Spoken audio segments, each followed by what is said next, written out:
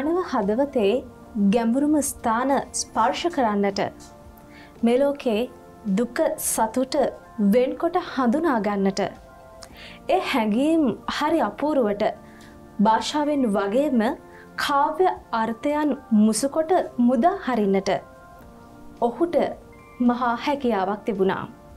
ඒ ශ්‍රී ලාංකීය සාහිත්‍යයේ ප්‍රබුද්ධ කලාකරුවා මහගම සේකරයාණන්.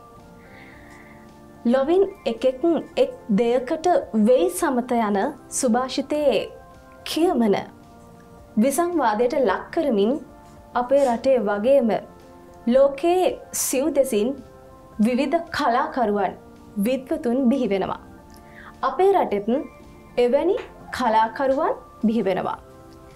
විවිධ කලාමාධ්‍යයන් තුළ පෙළහැර පෑමට හැකි එවැනි කලාකරුවෙක් වූ මහගම සේකරයන්ගේ ගුණ අනුස්පරණය කිරීම උදෙසා අද උදායිර සහෘදය විශේෂාන්ගේ මේ ඉඩකඩ අපි වෙන් කරගන්නවා. එදස් නමසය විසි නමය වර්ෂය අප්‍රේල් හත්වනිදා. ඔහු උපත ලබන්නේ රදාවාන ප්‍රදේශයෙන්. වයස අවුරුදු හතලිස් හයක් ආයුවලදා ඔහු අප අතරින් සමුගන්නවා. එදස් නම්සේ හැත්තෑ හය වර්ෂයේ ජනවාරි දා හතරවෙනිදා. ඉතින් ඔහු ජීවත් වූ මේ කෙටි කාලය තුළ ඔහු මේ කලාකෙත සුපෝෂණය කරන්නට දැක් වූ දායකත්වය මෙහෙවර අපමනයි.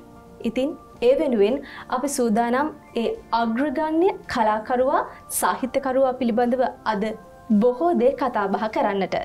ඒ වෙනුවෙන් අපි බොහෝම ගෞරවෙන් ආරාධනා කරා ජේෂ්ඨ කතිකාචාර්ය ජගත් රවීන්ද්‍ර මහතා පීටාධිපති දෘශ්‍ය කලාපීටය සෞන්දර්ය කලා විශ්වවිද්‍යාලය බොහෝම ගෞරවෙන් යුක්තව අපි පිළිගන්නවා අයිබෝවන් සුබදැසනක් ඔබතුමාට. කතිකාචාරිතුමනි මහගම සේකර කලාකරුවා පිළිබඳව අපි සාමාන්‍යයෙන් දන්නව ඔහු කවියෙක් එතකොට ගීපද රචකයෙක් මේ වගේ සාමාන්‍ය අපි දන්නා කියන තොරතුරුවලට වඩා වැඩියමක් අද දවසේදී අපි කතා බහ කරන්න සූදානමින් ඉන්න ඔබතුමා හමුවේ.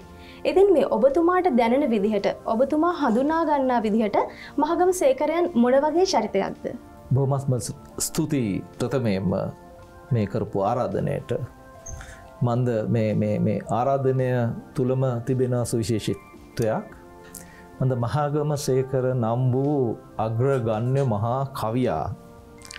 යනත්ත මහා ලේඛකයා ගැන කතා කිරීමට බොහෝ විට තෝරාගන්නේ වර්තමානය ජීවත්වෙන මහා කවීන්. ඔබ විසින් භායතනය විසින් වෙනත් දිසාවක් විවෘත කිරීමම ඉතා වටින දෙයක්. ඒ දිසාවම තමයි මම නියෝජනය කරන්න මම සෞන්දර කලා විශ්වවිද්‍යාලයේ දෘෂ කලා පිටේ පිටාධිපති පුද්ගලිකව චිත්‍ර ශිල්පියෙක් තොට මොකක්ත ඔය තෝරා ගැනීම සඳහා විශේෂ වෙන්නේ. ඔවු සේකර යනු විසල් ක්ෂේත්‍ර වල පැතිරුණු නිර්මාණශීලී හැකියාවන් පිරිපුන් මූලිකව චිත්‍රශිල්පියෙක්. ඔහුගේ මූලික අභ්‍යහසයන් මූලික අධ්‍යාපනයන් චිත්‍රශිල්පය අරභයා තමයි ඇතිවෙන්නේ.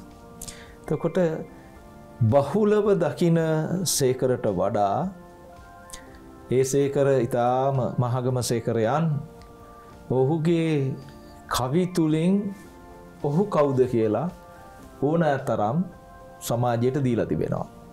ඕනෑ තරම් තොරතුරු ඔහු පිළිබඳව ඔහුගේ කාව්‍ය නිර්මාණ තුළින් හඳුනාගන්න පුළුවන්. නමුත් අපි චිත්‍රශිල්පියෙක් හැටියට සේකරව හරියට හඳුනා ගත්තද දන්නවා සේකර චිත්‍රශිල්පියෙක් කියලා. හැබැයි සේකරව හරියට හඳුනාගන්න පුළුවන් වුණාද. සේකර මහගම සේකර නම් වූ ඒ චිත්‍රශිල්පයා කවුද.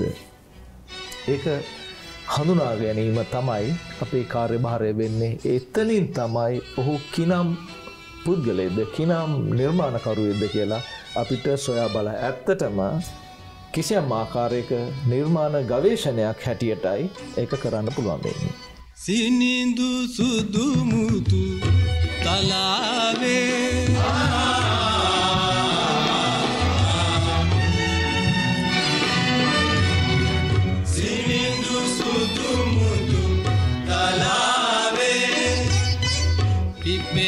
පෙන පිට සිනාසේ පිපෙන පෙන පිට සිනාසේ සිනිඳු සුදුමුතු තලාවේ පිපෙන පෙන පිඩු සිනාසේ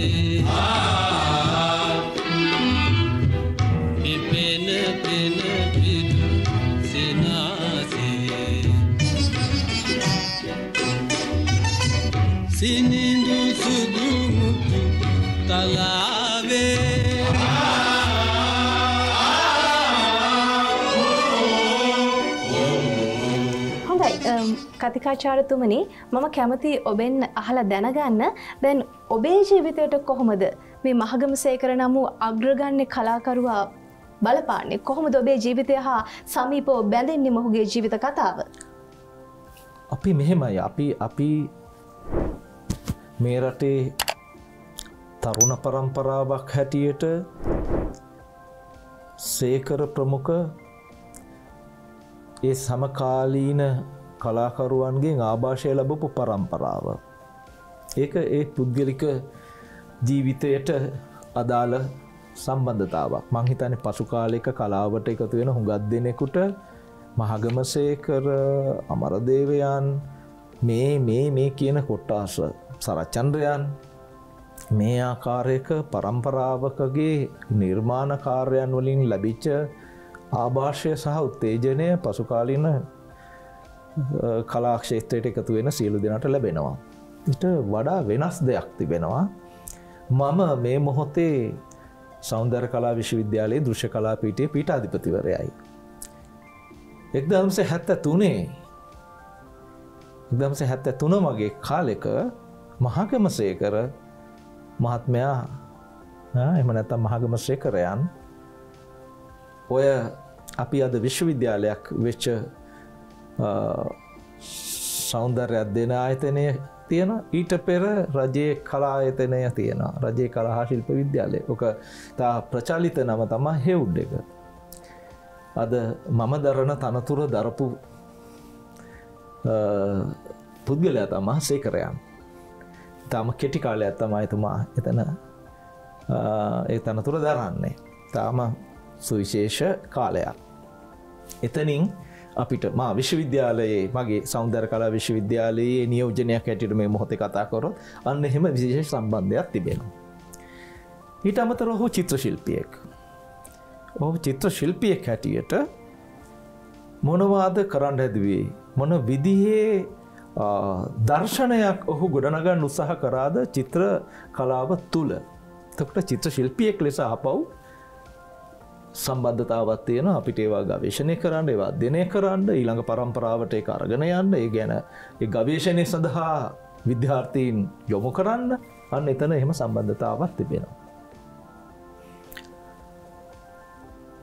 ඉට අමතරව තවත් එකක් තිබෙනවා.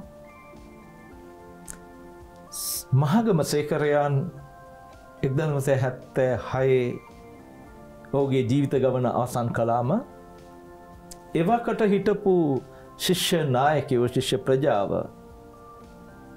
එතුමාගේ දේහය ඔය අපේ සෞන්දර කලා විශ්වවිද්‍යාලයේ දෘෂ කලා පීටය පිහිටා තිබෙන තැන අපි එක හඳුන්නන්නේ හේවුඩ් බිල්ඩින් එක කියලා පැරණ බිල්ලිමේ උඩ මහලේ දවස් දෙකක් රාත්‍රී දෙකක්.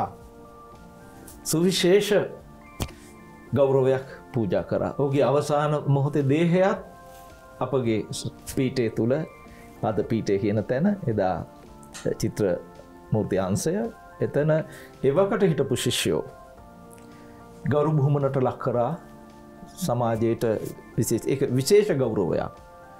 ඒ කියන්නේ අර සේසත් දරාගෙන සියලු දෙනා පිරිමි ගැහැනු කියන බේදකින් තොර සුදුවතින් සැරසිලා මුර සේවා මුර හැටියට වගේ මේ ආචාර විදිහට කාලය රාත්‍රිය පැයෙන් පෑට කට්ටිය වෙනස් වෙමි තාම ඉහළම ගෞරවයක් දැක්කපු අපේ ඒ මොහොතේ හිටපු ශිෂ්‍ය ප්‍රජාවගේ අතිශය ගෞරවයට පාත්‍ර වෙලා හිටපු නිර්මාණකරුවේ අපි හිටපු විදහල්පතිවරය හැටියට අවසාන දේහයත් අපේ භූමියේ තැන්පත් කොට තැබීමෙන් ඇති වෙන සම්බන්ධය ඒ කේදනීය මොහොත.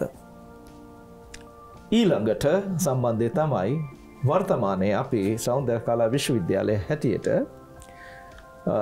අපි හොයමින් ඉන්නවා දකිමින් ඉන්නවා මේ අපේ ජේෂ්ඨයන් දැකපු මහගමසේකරයන් නිතරක් නෙබෙයි ඊට පෙර හිටපු අපේ ජේඩිය පෙරේරා ඩේවිඩ් පේන්ට ස්ටැන්ලිය බේසිංහ තිස්සරණ සිංහ මේ වගේ තව පිරිස් ඉන්නවා. මේ අය දැකපු හීන තියෙනවා.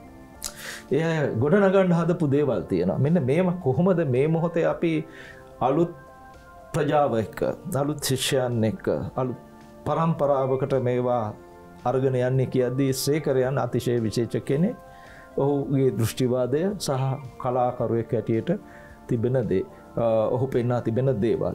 අනික් සවිශේෂී කාරණය තමයි අපි සෞන්දර කලා විශ්වවිද්‍යාලය හැටියට අපේ නව උපකොළු පැත්තුමා ජේෂ්ඨ මහාචාරය රොහණ මහලියනාරච්චි උපකොල් පෙත්තුමා එතුමා යෝජනාවක් ගේනවා විශ්වවිද්‍යාලය සංවර්ධනය සඳහා විවිධ යෝජනාවන් ගෙන අතරේ එක විශේෂ යෝජනාවත් තමයි වාපා පබ්ලිෂර්ස් එකන්නේ විශුවල්ලාත් පොෆෝමින්නාත් මේ කියන අරමුණේ විශුවල්ලාට් සහ පොෆෝමින්නාට් කියන ශේත්‍ර මූලික කරගෙන uh, ප්‍රකාශන uh, පටන් ගණ්ඩ ඕන කියලා. අන්න ඒක අපි වාපා පබ්ලිෂස් කියලා නම් කරලා තිබෙනවා. ඒ uh, සමාජගත කිරීම මෙහම නැත ආරම්භ කර නිල වශයෙන් සමාජය මුදා හැරීම සේකරයන්ගේ සංවත්සර දිනය. ජනවාරි දාහතට යෙදිල තිබෙනවා. ජනවාරි දාහතර නිවාඩු දිනයක් නිසා අද දින දහතුන සේකරයන්ගේ සංවත්සරය පදනම් කරගෙන අපේ ඒ ප්‍රකාශන කටයුත්ත සමාජගත කිරීමට කටයුතු කරලා තියෙනවා. ඒක ඉතා සුවිශේෂී සම්බද්ධතාවක් මහගසම සේකරයන් අපේ ආදි විද්‍යාර්ථියෙක් පරිපාලකයෙක් ලෙස විදුහල්පතිවරයෙක් හැටියට පැමිණිය. චිත්‍රශිල්පියෙක් හැටියට ඔහු ශේත්‍රයෙන් අදාළ කටයුතු මඟ පෙන්වීම් කරලා තිබෙනවා. ඔහු පිළිබඳව අවධානයටත් ඔහුගේ අනෙකුත් ශේත්‍ර අලලා ඔහු විසින් කරපු විශාලමහයට කලාබ සහ සමාජ සෞන්දර්යාත්මක ප්‍රබෝධයට කරපු මහංගු ක්‍රියාවලිය සලකලා පෘතවේදී බවක් ලෙස අපි වාපා පබ්ලිෂර්ස් අද දින ඔහුව සමරමෙන් ආරම්භ කරනවා. හොඳයි කතිකාචාරතුමනි දැන් මේ සේකරයන් වඩාත් සමාජය තුළ ප්‍රචලිත වනේ වඩාත් සමාජය තුළ ප්‍රකට වනේ ගීත රචකයෙක් නවකතාකරුවෙක් කෙටිකතාකරුවෙක් එත් එකම නාට්‍ය රචකයෙක් චිත්‍රපට අධ්‍යක්ෂකවරයෙක් ගුරුවරෙක් මේ වගේ කලාමාධ්‍යයන් තුළින්. ඇත්තරම ඇයි ඔහුගේ මේ චිත්‍ර කලාව වැඩිපුර සමාජය කතාබාට ලක් නොවනේ ඔබතුමා හිතන්නේ මොකක් දෙකට හේතුව. එක කෙටියම්ම කියන්න පුළුවන් උත්තරය තමයි සේකරයන් මාගම සේකරයන් කාව්‍ය සහ ගීත ප්‍රබන්ධයේ අත්ති විශාල අගයක් හිමි කර ගැනීම. අති විශාල අගයක් හිමි කර ගැනීම. ඒ නිසා ඔහු තුළ ඔහුගේ චිත්‍ර නිර්මාණකරුවා සමාජගත වෙන්නේ හරි අඩුවෙන්. ඔහු ඔහුගේ නිර්මාණ කාලය තුළ වැඩිපුර කාලයක් ගත කරන්නේ කාව්‍ය සහ ගීත එත්තකොට කිටිකතා නාට්‍ය රචනා නවකතා වැනි කලා ශේත්‍ර තුළ කටයුතු කරන්න. තවත් දෙයක් සේකරයන්ගේ නිර්මාණ ඒැන චිත්‍ර නිර්මාණ සමාජගත වෙන්ඩ බලපාපු තව සාධක ටිකක් තිබෙනවා. ඒවා ඔහු ජීවත් වෙච්ච අවදියට පමණක් නොවෙයි. අදටත් යම්මාකාරයකට බලංගුයි. චිත්‍රය කියන්නේ කොයි වගේ දෙයක්ද කියලා පොදු සමාජයේ තිබෙන අර්ථකතන ටිකත් තිබෙනවා. ඒවා සේකරයන්ගේ නිර්මාණ තුළින් දකින ලැබෙන්නේ. හරි ඒකත් එක හේතුවක් වෙන්න පුළුවන්. මට අනුම ප්‍රධාන වශයෙන් දකින්නේ ඔහු කාව්‍ය රචකයෙක් ලෙස ගොඩනගාගත්ත ඉහළ කීර්තිය විසින් මහගම සේකරයන් නම් වූ චිත්‍රශිල්පියාව කිසියම් වසා දැමීමක් සිද්ධ වුණා කියලා. හොඳයි. කතිකාශාරතුමනි මම කැමතියි ඔබතුමාගෙන් දැනගන්න මහගම සේකරයන්ගේ චිත්‍ර නිර්මාණවල තුළ තිබූ ආභාෂය කුමක්ද? ඔහු මොකක්ද සමාජගත කරන්න බලාපොරොත්තුනේ ඔහුගේ චිත්‍ර නිර්මාණ තුළින් මොකක් ඔහුගේ දර්ශනය? ඉතාම වැදගත් ප්‍රශ්නයක් අමා. මොකද මේ සේකර මහගම සේකරයන් චිත්‍ර කලාව තුළ දෙයාකාරයකට ස්ථානගත වෙනවා. දෙයාකාරයකට ස්ථානගත වෙනවා එකක් ඔහු චිත්‍රශිල්පියෙක් හැටියට අර තම නිර්මාණ ක්‍රියාවලිය සඳහා චිත්‍ර නිර්මාණ කිරීම. අනෙක් කාරණය ඔහුගේ මෙන්ම ඔහුගේ ඒ සමකාලීනිකයන්ගේ කාව්‍ය නිර්මාණ නවකතා කෙටි කතා සඳහා ඔහු විසින් කරපු පොත් කවර නිර්මාණ කංචුක චිත්‍ර කියන එක. මෙන්න මේ දෙයාකාරයකට සේකරයන් චිත්‍ර කලාවෙහි යෙදෙනවා. ඉට අමතරව තව ඔහු යෙදිච්ච තව දෙයක් තමයි ඔහු කාටුන් අදිනවා. එතකොට ඒක එච්චර ප්‍රබලව එන්නේ නැහැ නමුත් අර චිත්‍ර ඇඳීම චිත්‍ර කියන අපි චිත්‍ර සංරචනය කියලා කියන එකට චිත්‍ර කලා භාෂාවෙන් චිත්‍ර සංරචන. ඔහු අඳිනවා කරනවා. ඊට අමතරව කංචුක නිර්මාණ පොත් කවර නිර්මාණ. තකට ඔබ අහපු ප්‍රශ්නය අනුව මට දෙයාකාරයක උත්තර තිබෙනවා. දෙයාකාරය උත්තර බට වඩා දෙයාකාරක පැහැදිලි කිරීම තිබෙනවා. අපි පළමුුවම චිත්‍ර සංරචනය සම්බන්ධයෙන් අරගමු. චිත්‍ර සංරචනයේදී ඔහු මේ මේ මේ පෙන්නා දෙන්න හදපු ශෛලීය සහ භාවිතාවන් ඉතා වැදගත්.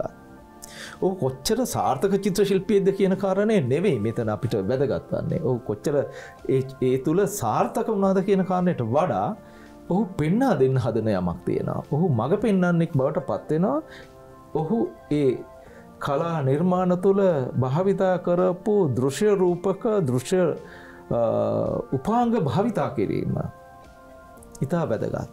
අපි ඒක තව ටිකක් පැදිලිකර දෘශ්‍ය උපාංග කියලා අපි චිත්‍රයක් නිර්මාණය කරද්දි අපිට තිබෙන වර්ණරේකා හැඩතල රිද්මය තේක්ෂ බෑලන්ස් ඔය කියන මූලික ධර්ම ටිකත් තියෙන මුල ධර්ම ටික ඔහු ඒවා යොදවද්දී ඔහු ශෛලීයක් හැටියට කුමන කටයුත්තක් කරාද? හැම චිත්‍ර ශිල්පේ මරමම් පෙර සඳහන් කරපු සියල්ල කරනවා.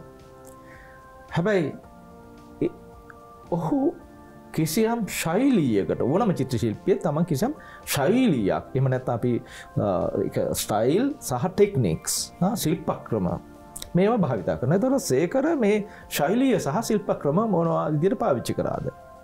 එන්න මෙතනින් තමයි සේකරයන් අපිට හඳුනාගන්න තියෙන්නේ මොකක්ද ඔහු පෙන්නන්න හදපු කාරණය කියලා. ඔහුගේ ඒ චිත්‍ර නිර්මාණ අපි බලනකොට පේන දෙයක් තමයි ඒවාකට ප්‍රචාලිතව පැවිත්ති බටහිර ශිල්පබිදී ඔය ටෙක්නිකල් කොලෙජ් එකින් එක්දස් අටසි අනෝතුනේ තමයි ඔය චිත්‍ර සහ ඇඳීමේ පාටමාලාව පටන් ගන්නේ. බ්‍රිතාන්‍ය යටත් විජිත අවදියදී.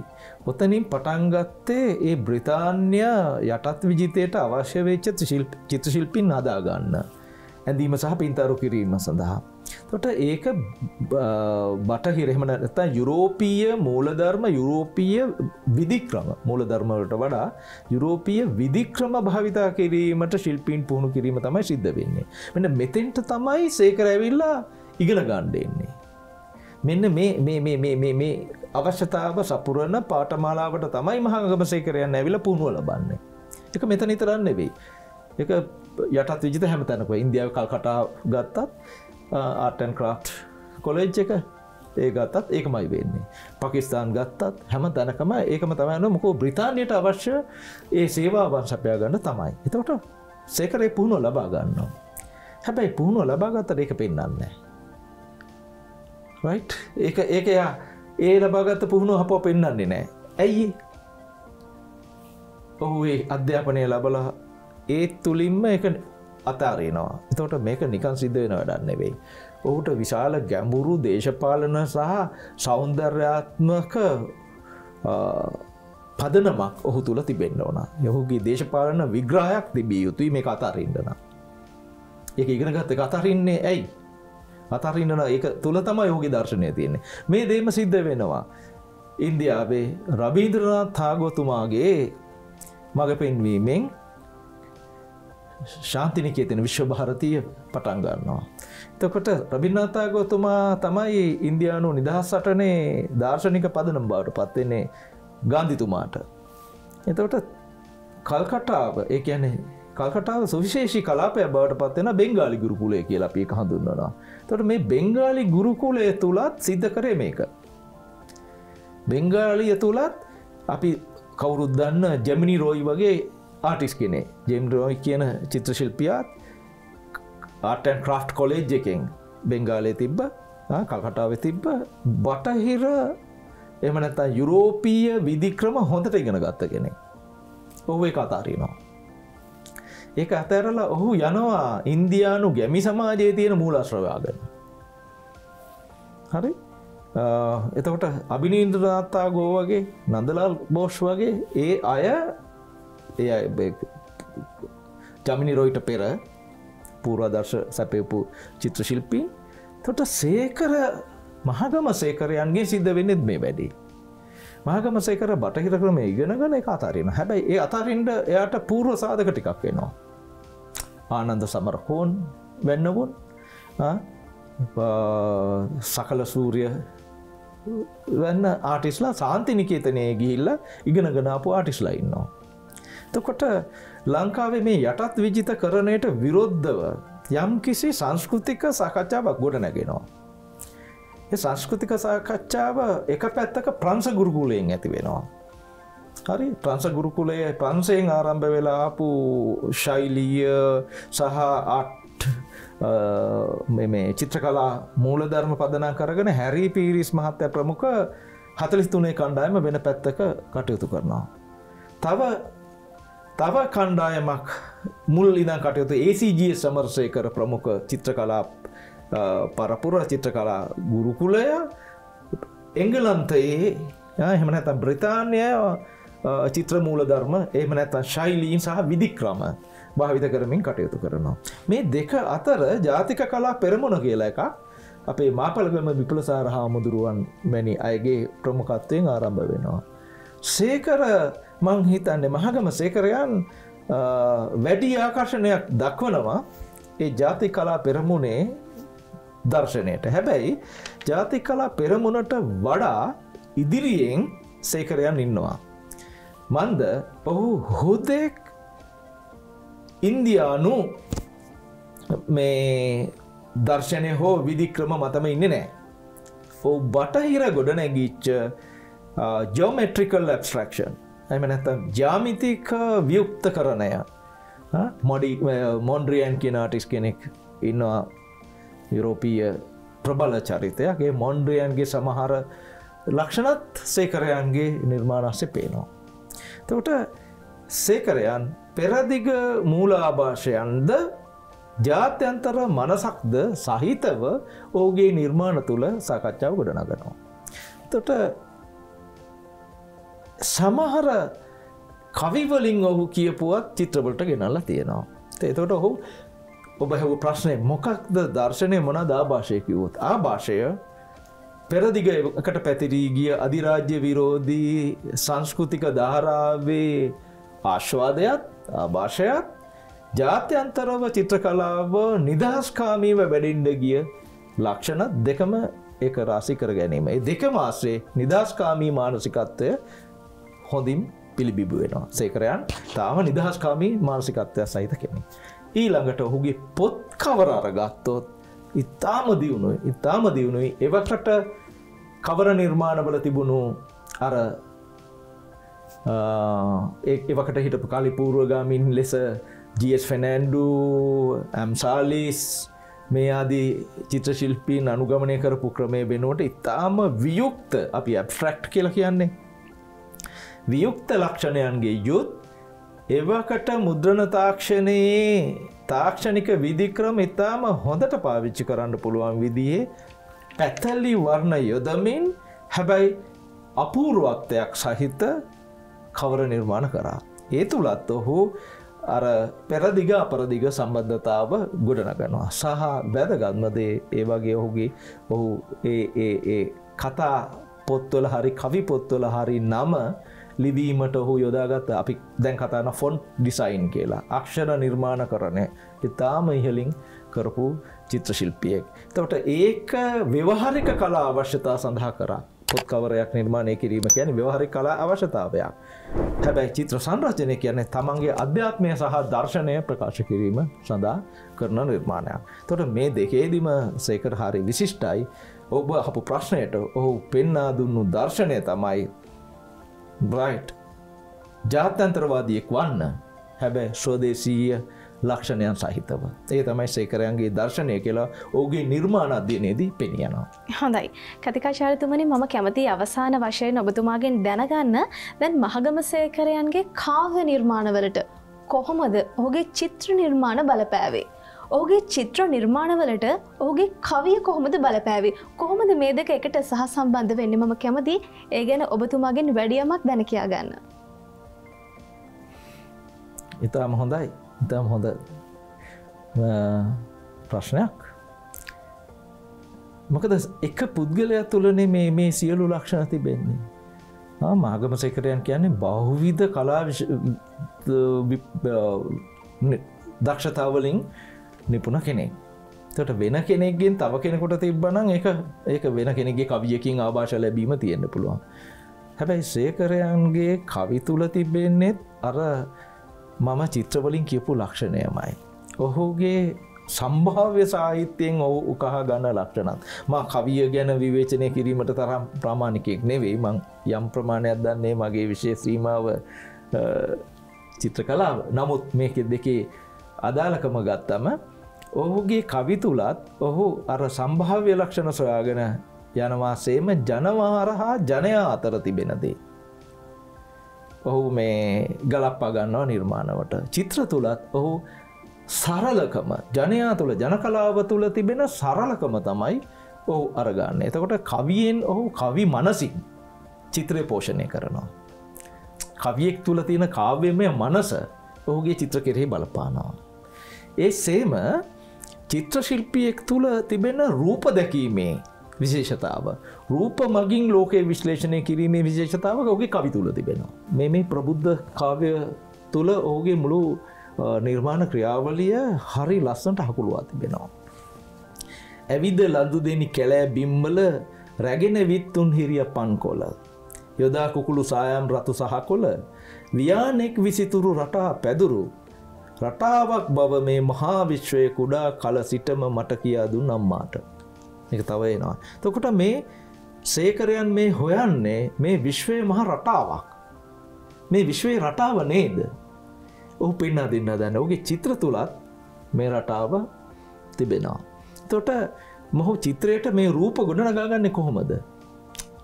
අම්මා පන්කොල ගෙනල්ලා මේ රටාව ගොඩනගන ඔහු දෘෂ්ටිමය වශයෙන් චිත්‍රශිල්පියෙක් ලෙස ඔහු රූප ගොඩනගන්න රූපයන් ගොඩනගණ්ඩ සවිමත් මනසකින් යුතු කෙනෙක්. තොට ඒ ලක්ෂණ එතන තිබෙනවා. තව ඊට පසේ විසල් සුදු ඩිමයි කඩදාසි මත තබා මහා කවකටුව දිග රූල ඇද නෙක් මෝස්තර මල් හා කොල කපා කැටයම් ඉන්දු බොකුටු නියනින් විශ්වයේ රටාවම කලාවට නගන හැටි කුඩා කල සිටම කියා මට කියා දුන් තාත්තාට. එතකොට මුළු විශ්වයම මහා කලාවක් මහා රටාවක්. තොට ඔහුගේ කවි තුළත් ඒ රටාව හොයන්ඩ මහන්සිවීම. චිත්‍රය තුළත් ඒ රටාව හොයන්නමත්. එක කාවිය පදනම් කර ගත් මනස කවියක් නිර්මාණය කිරීමටත් ඔහු යොදාගන්නවා චිත්‍රයක් නිර්මාණය කිරීමටත් යොදාගන්නවා එක මූලික හරයන් සහිත. තොට තව අමුවටම අපිට ගත්තොත්න එක. ඔහු ඔහුගේ කවියත් තියෙන සඳසා නිවනෝක් නිවියෝක් නගරය කියලා. ඒකම චිත්‍රයක් තියෙනවා. right? ඒ ඒ- ඒ වගේ චිත්‍ර ඇඳීමටත් ඔහු ඒ එක අත්දැකීමම ඒකට හේතුවයයි. ඒකට හේතුව වෙන්නේ සේකරයන් කියනවා මට සෑහමකට පත්වෙන්න බෑ කවියන්ද කවිලියලා. වෙනසාමන් නව කතා ලියනවා. නවකතාව තුම්මං හන්දිය ලිව්ව මං සෑමකට පත් වනා කියලා හැබැයි ඒත් මදි නිසා මම තුම්මං අදී චිත්‍රපටිය කරා කියලා. එතකොට යම් කිසි සෑහිමකට පත්වීමක් වුණා කියලා. එතට තුම්මං හන්දිය තුළත් අර කවියම ගලාගෙන එනවා අර චිත්‍ර ශිල්පියම ඉන්නවා.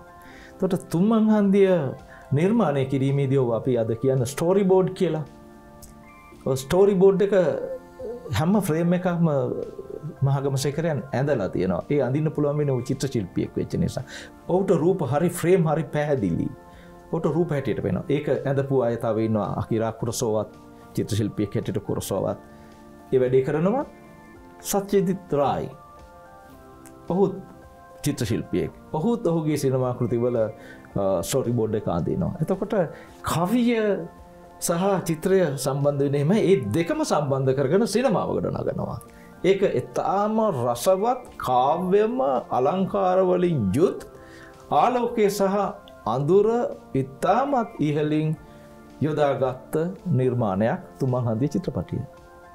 තොට සේකරයන් කවි මනසින් රූපමය ඥානයෙන් තමයි මේ අන්තර් සම්බන්ධය හදන්නේ රූපය පිළිබඳව චිත්‍ර කලාවෙන් උපයාගත්ත හු දැනුම ඔහු අර මුල් කාලය ලබාගත්තද ශ්‍රාශ්‍රාලීය දැනුම ඔහු යොදාගන්නවා. ඒ විදිහට තමයි සේකරයන්ගේ කවිය සහ චිත්‍රය සහ චිත්‍රපටය එක චිත්‍රපටය යොහෝ කරන්නේ ඒ චිත්‍රපටය තුළ අර කැම්බුරු චිත්‍රයක් තිබෙනවා. ඒකේ ආලෝකය සහ අඳුර භාවිතා කිරීමේදී. අද දෙදස් විසියකේ ජනවාරි මාසේ දහත්තුන් වෙනිදා. එදා එද්දස් නම්සිය හැත්තෑ හය වසරේ ජනවාරි මාසේ දා හතරවෙනිදා. එදා තමයි අපේ රටට මේ දැයට ඒ අසහාය අග්‍රගණ්‍ය කලාකරුවා අහිමි වෙන්නේ. දයින් සමුගෙන යන්නේ. ඉතින් මහගම සේකරයාණන්ගේ ගුණ සිහිපත් කරනුවස් අද දවසේදී අපි ඔහුගේ ගුණ අනුස්මරණය කිරීම උදෙසා මේ කතාබහ ඔබට සමීප කරා උදායිර සහෘදයා විශේෂාන්ගේ තුළින්. එවනුවෙන් අපි බොහෝම ගෞරවෙන් අද දවසේදී අපේ මැදිරියට කැඳවාගත්තේ ජේෂ්ඨ කතිකාචාර්ය ජගත් රවීන්ද්‍ර මහතා ඔහු පීටාධිපති දෘශ්‍ය කලාපීටය සෞන්දර්ය කලා විශ්වවිද්‍යාලය අපි බෙහිවින්ම ස්තුතිවන්ත වෙනවා දහසකුත් වැඩ කටයුතු මධ්‍යය වුවද මේ ගැන කතා කරන්න බොහෝ දේවල් අපිට පසක් කර දෙන්න අද දවසේදී චරණ TV උදායිර සහෘදයා වැඩසටහන සමගින් සම්බන්ධවීම පිළිබඳව. ඉතින් ඉදිරියේදී ඔබතුමාගේ සියලුම වැඩ කටයුතු සර්වපකාරයෙන්ම සාර්ථක වෙන්න කියලා හැරදයංගෝම සුභපතන ගමන් අදට සමුදෙනවා අයිබෝවන්. අයිබෝවන්. හිතවතුනේ උදායිර සහෘදයා විශේෂාන්ගෙන් සමුගත්තත් ජිවිදයට වටිනා කියන තවත් බොහෝ විශේෂාංග අපි සූදානම් ඔබට සමීප කරන්න. එනිසා බොහොම ලෙන්කතු ආරාධනා කරනවා දිගටම රැඳෙන්න උදායිරත් සමඟ.